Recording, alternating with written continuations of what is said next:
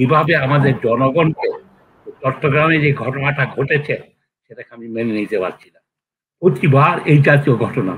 আসিফ নজরুল কয়েকবার বলেছেন গুলি করতে পায়ে করো, কেউ যদি অন্যায় করছে বা তুমি ভয় করছ বা কিছু করতো এইভাবে। এখানে আমি আসলে কাঠগড়ায় দাঁড় করাতে চাই আমাদের বিচারপতিদেরকে। বিচারপতিদের উচিত ছিল, এখনও আছে। তারা এদেরকে সুমোটর করে বা যে কোনো ভাবে করে, এইসবের প্রতিহত করার একটা জায়গা হলো আইন শৃঙ্খলা যেখানে আইনের বিষয়ে। ওনারা কেনই বা এটার উপরে একটা সুমোটর করে আমাদের স্বরাষ্ট্রমন্ত্রী, এই অন্যদেরকে করতে পারবেন না, কীভাবে এটা তো লোক হত্যা। এটা বিনা বিচারে হত্যার সামিল। এইটা যদি বন্ধ না হয়, এটার জন্য বন্ধ করলে আজকে আমাদের সবাইকে, আমি যেটা বুঝি যেভাবে সরকার চাইছে, সরকার পরিচালিত হচ্ছে নয়া দিল্লি থেকে, এখানে আমাদের কথা, যেখানে প্রধান, কারোই কোনো ক্ষমতা নেই, তারা সম্প্রতি ভারত এখন তো আস্তে আস্তে তার চরিত্র বেরিয়ে আসছে। তারা আমাদের সমুদ্রের যেখানে, সেখানকার আপত্তি হচ্ছে, লোক তো অনেকদিন ধরে মারছিল। এইসবের ব্যাপারে আমার যেটা একটা পরিষ্কারভাবে বলতে চাই, আমরা যারা আছি, আমরা জীবনের সায়ান্নে আছি, আজকে কামাল হোসেন আবার নবীনদের মধ্যে মান্না এরা যারা আছেন থাকে, আমরা কি রাস্তায় সামনে দাঁড়িয়ে এই শ্রমিক যেভাবে গুলি খেয়েছে, আমরা সেই গুলি খেতে প্রস্তুত আমরা যদি সে আজকে আমার অন্তকার কয়েক বছরেই বাঁচব? আমার এই সাহস কেন জন্মাবে না? আমি রাস্তায় দাঁড়িয়ে এর প্রতিবাদ করে জনগণের মুক্তির জন্য, গণতন্ত্রের জন্য আমি আত্ম দিতে চাই। এভাবে আমি মুক্তিযুদ্ধে এসেছিলাম, আমাকে কেউ গ্যারান্টি দেয়নি যে আমি বেঁচে থাকব আজকেও। এখানেও আমি বলতে চাই, এই জনগণের অধিকার আদায়ের জন্য, এটা আসলে আমার অধিকার আদায়, অন্যান্য স্বার্থপরতা কথা এটার জন্য আমরা প্রস্তুত আছি। এই চিন্তাটাকে আমাদের সবার মনে গ্রহণ করার জন্য আমি আহ্বান জানাচ্ছি, ভয় ভীতি ছেড়ে চলেন আমরা সামনে দাঁড়াই। তাহলেই দেশের পরিবর্তন তবেই দেশবাসী এটার বিরুদ্ধে অভ্যুত্থান হবে। অভ্যুত্থান এমনি এমনি হয় না। অভ্যুত্থানের জন্য কিছু নেতা দরকার হয়, কিছু লোকের আমরা যারা সুন্দর সুন্দর কথা বলছি, খুব যুক্তিসঙ্গত কথাই বলছি, তাদেরকে মৃত্যুর জন্য প্রস্তুত হতে হবে। তবে অভ্যুত্থান হবে। হয়তো সেই অভ্যুত্থানের পরবর্তী সরকারটা আসিফ নজরুলের মতো সাকির এরা যারা আছে, তারাই আমাদের দেশটাকে করবে। তাদের চিন্তা মুডের মতো লোকেরা, আমরা আমাদের রক্ত দিয়ে যাব, তাদেরকে সুশাসন প্রতিষ্ঠার জন্য। এখন আসি। পরিষ্কার, সব কথাই হয়েছে। আসলে আমি একটু ই করে বলতে চাই যে, আজকে করোনা। করোনার ব্যাপারে সরকারের, আমি কেবল অভিযুক্ত আমার দুঃখ লাগে আমরা সব পরামর্শগুলি দিয়েছিলাম। একটা পরামর্শ মাননীয় প্রধানমন্ত্রী গ্রহণ করেন নাই আমি তখনই বলেছিলাম, দেখেন বলেছিলাম যে আজকে আমাদের দরকার হবে অক্সিজেন। যেটা খোঁজা দেওয়া অক্সিজেন আছে, ওটাকে ধরে বোতলে ভরা। এটাই হলো সবচেয়ে বড় কাজ। আজকে আইসিউ না আইসিউ না, সবচেয়ে বড় কাজ অক্সিজেন অক্সিজেন। প্রত্যেকের বাড়িতে অক্সিজেন দেয় রোগক্রান্ত হলেই সে অক্সিজেন ব্যবস্থা। আজকে সেই অক্সিজেনের উপরে এখনও সতেরো পার্সেন্ট ভ্যাট আছে। সরকার এক ঘণ্টার মধ্যে যদি আজকে ব্যবসায়ীদের ইটাকে এসারও করতে পারে, আমাদের এই ওষুধের উপরে, অন্যান্য যন্ত্রপাতির উপরে কেন এই করতে পারেন না? আজকে অক্সিজেনের ব্যবস্থাটা হলে এক নম্বর করতে হবে। দ্বিতীয় নম্বর কথা হলো যে, হসপিটাল বেড আপনি সারা শহরকে তো হসপিটালে পরিণত করতে পারেন না। ঢাকা শহর আর নতুন বিল্ডিং করার দরকার নেই। এটাকে আমাদের জেলাগুলি যেগুলির কথা ওনারা বলছেন কিন্তু এই বাড়ি বিল্ডিং করলে হবে কে? চালাবে কে? চালানের দরকারের জন্য সবচেয়ে বড় দরকার প্রশিক্ষণ প্রাপ্ত এই আইসিউ এখানকার নব্বই পার্সেন্ট আইসিউ আমি বলে দিই, এরা ডাক্তার একটা কেষ্টমি করতে পারে না। যেটা গলার এখানে একটা ছিদ্র করে বাতাস ঢুকানো আমাদের এখানে এই ব্যবস্থা নেই। আজকে সরকারের এক নম্বর কাজ হলো এক মাস দুশো ডাক্তারকে, পাঁচশো নার্স টেকনিশিয়ানকে এই প্রশিক্ষণ দেওয়া। আশা আট থেকে দশ ঘণ্টা করে প্রশিক্ষণ দিয়ে এই মেশিন চালানোর উপযুক্ত করে তোলা। তা না হলে এই আইসিউ করে কোনো লাভ হবে না। আইসিউ কোনোখানে কার্যকর হবে না। ঠিক যাই হয়েছে, এতে ব্যবসায়ীদের পয়সা হবে। যা হয়েছে বসুন্ধরা হাসপাতাল। তারা ভালো করেই জানতো এটা কাজে লাগবে না। তারা ভালো করেই জানতো। কিন্তু তার মধ্যে কয়েক কোটি টাকা তারা সরিয়ে নিয়েছে এবং এখানে কিন্তু শেষ হয় নাই। এই প্রত্যেকটা যন্ত্রপাতি কেনার পিছনে কেবল করাপশন আর করাপশন করাপশন আজকে সেই জন্য অল্টারনেটিভ বিকল্প চিন্তা করতে হবে আমাদেরকে। বিকল্প চিন্তা কি? এই রোগ আক্রান্ত যারা হচ্ছে, একটা হলো এই জন্য গবেষণা ইত্যাদির জন্য সরকারের অর্থ নিয়োগ দরকার ভ্যাকসিন তৈরি করতে হবে আমাকে।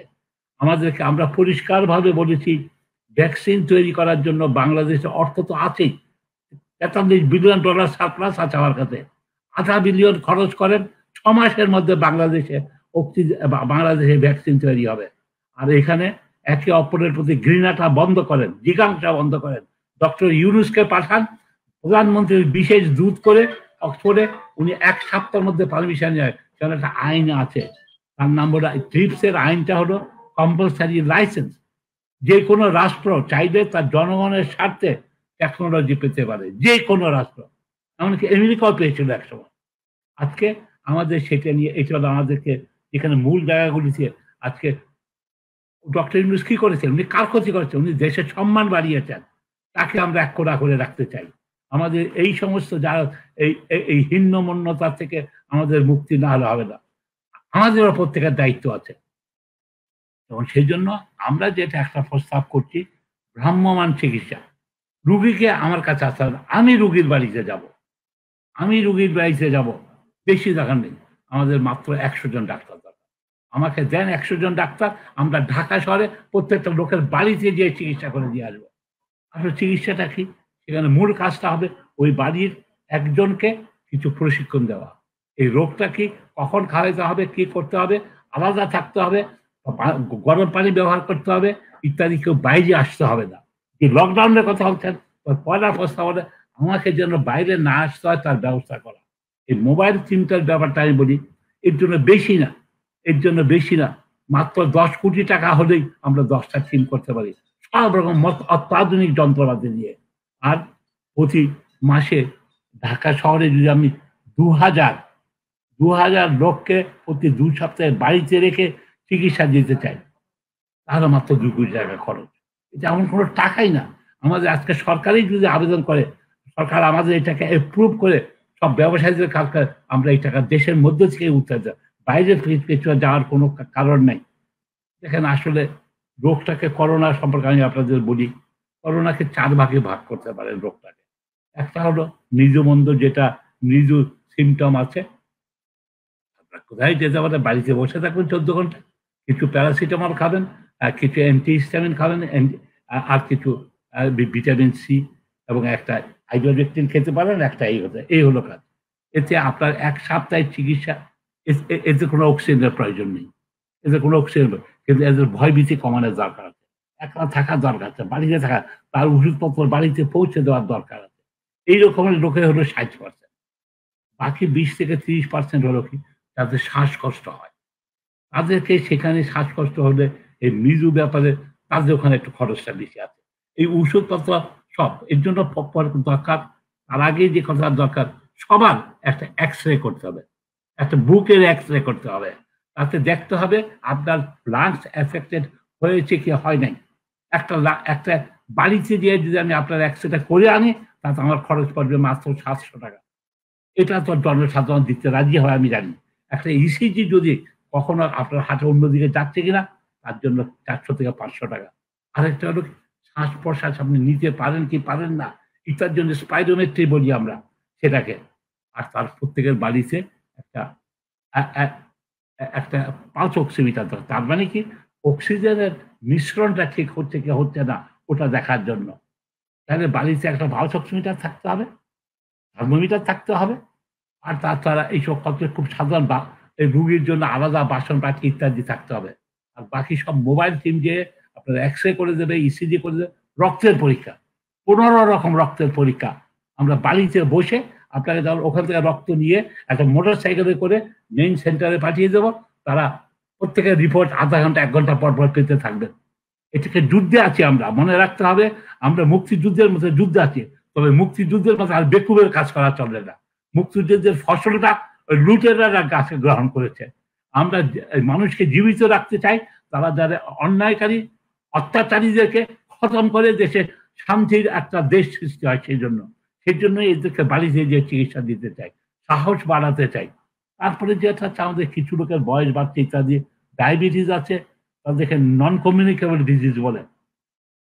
তাদেরকে তাদের জন্য একটু অতিরিক্ত ওষুধ লাগবে। এই সব ক্ষেত্রে অক্সিজেন লাগবে। প্রথমদের লাগবে না, দ্বিতীয়দের কিছু অক্সিজেন লাগবে, তৃতীয়দের একটু বেশি লাগবে, সবচেয়ে বেশি লাগবে হলো তীব্র, যেটার কথা আপনারা বলছেন আইসিউ দরকার হয়। আইসিউতে পাঁচ থেকে সাত পার্সেন্ট লোক তার মধ্যে মনে রাখতে হবে বেস্ট ট্রিটমেন্ট দেওয়ার পরে এই পাঁচ থেকে সাত পার্সেন্ট অর্ধেক মারা যাবে। এটার জন্য, তার জন্য যে নিবেদিত ওয়ার্ক ফোর্স দরকার, সেটার জন্য সরকারকে, সবাইকে নিয়ে মিলে করতে হবে। আমরা সরকারেরই না, তবে অবশ্যই আপনারা ঠিক কথাই বলেছেন, এই ভদ্রলোককে, স্বাস্থ্যমন্ত্রীকে, প্রধানমন্ত্রীর সহকারী করে দেন, কিন্তু স্বাস্থ্যমন্ত্রী রেখেন না। উনাকে, উনার লজ্জা সর্ব নাই ওখান থেকে আমলারা আঠারো দফা করে, উনি বলছে, আমি তো জানি না। আত্মসম্মান বোধ থাকতে হবে। যেই ভদ্রলোকের আত্মসম্মান বোধ নাই, তাকে এত বড় দায়িত্ব দেওয়া যাবে না। ভদ্রলোকের আমার অন্য কোনো খোঁজ নাই। উনি খুব খুশি আছেন উনার বাপের নামে মেডিকেল কলেজ করে দিয়ে। কি করেছেন? তার বাবা মেডিকেল স্বাস্থ্যের উন্নতির জন্য। এদিকে আমি যেটা বলতে চাচ্ছি আমাদের খুব বেশি না, কঠ- কঠিন সময়, কিন্তু আমরা যদি শুরুই করতে পারি, আগামী সপ্তাহ থেকে আমরা মোবাইল টিমটা আমরা আরম্ভ করতে চাই। চাই যে লোকজন, এই জন্য জনগণের থেকে টাকা দিয়ে আমরা করতে চাই। জনগণকে সবাইকে আবেদন করছি করেন এবং ওষুধপত্র সবই আমরা বাড়িতে বাড়িতে সরবরাহ করে দেব। আপনাকে আশা দেয়। এবার আসে লকডাউন লকডাউন তখনই সফল হবে, আপনি যখন তাদের বাড়িতে খাওয়া দেবেন। আপনারা স্মরণ করে দেখেন, আমি এক বছর আগে বলেছি যে প্রত্যেক মানুষের বাড়িতে এক মাসের রেশন বিনামূল্যে টাকা পয়সা দিয়ে দেন না। টাকা পয়সা যা দেন অর্ধেক তো আপনি রেখে দেন। আপনার কর্মচারী দেখা যায় আপনি সরাসরি রাখেন না, আমি জানি। মাননীয় প্রধানমন্ত্রী, আপনি সরাসরি টাকা নেন না, এটা আমি জানি। কিন্তু আপনার যারা খাদেমরা আছে, তারা যাই দেন, তার অর্ধেক তা রেখে দেয় রেখে দেয়। সেই জন্য বলছি, আপনি এটা দ্রব্য রেশন দিয়ে দেন, এক মাস করে, তাহলে তারা আসবে না। আর তাছাড়া দরিদ্র মানুষের জিনিসগুলি খোলা রাখেন। ফুটপাতের ছোট দোকানটা থাক খোলা। সেখানে সেখানে সোশ্যাল ডিস্টেন্স মানুষ।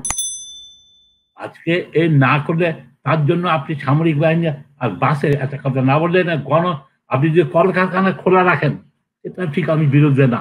তাহলে তাদের যাতায়াতের জন্য গণপরিবহন খোলা রাখতে হবে। গণপরিবহন কিন্তু আপনারা কি করছেন? আমার গাড়ি চলতে দেন, কিন্তু গরিব মানুষের গাড়ি চলতে দেন না। গরিব মানুষের চলে কোনটা দিয়া? সে রিক্সায় চলে, মূলত বাস। সুতরাং এখন যেহেতু ইন্টার ডিস্ট্রিক্ট নাই, সব বাসগুলিকে ঢাকা শহরে এনে প্রতি দশ মিনিট পর পর প্রত্যেক রাস্তা কভার করে বাসে তাতে কর্মীরা, লোকেরা হাসপাতালে যেতে পারবে কিছু বাজার করতে হবে, তাহলে আর কোনো প্রাইভেট গাড়িকে চলতে হবে। একমাত্র গাড়ি চলবে, সামরিক বাহিনী, সামরিক এদের এখন কাজ নেই। এখন চলতে হবে ডাক্তার, নার্স, যারা সেবা করে, পুলিশের। যেসব আইন শৃঙ্খলা এবং এছাড়া কোনো প্রাইভেট গাড়ি চলবে না। তাহলেই দেখবেন যে আপনার লকডাউনের অর্থ হবে। তা না হলে এই জাতীয় লকডাউন কিন্তু ফার্স্ট এটা আমরা লোককে ঠাট্টা করছি। সুতরাং, তো আমাদের কঠিন সময় তবে আমরা এটা যে জিতবো, যদি আমরা সবাই মিলিয়ে দেওয়ার করে বিশেষ আমরা, আপনারা যারা আছেন তাদেরকে আমি একটা আমাদের সাহস অর্জন ছাড়া মৃত্যুর জন্য প্রস্তুত না হলে আমরা জীবিত থাকব না। মৃত্যুর জন্য প্রস্তুত হলেই তখন জীবিত থাকব। দেশ বাঁচবে, দেশ হাসবে, আমরা সবাই ভালো থাকব।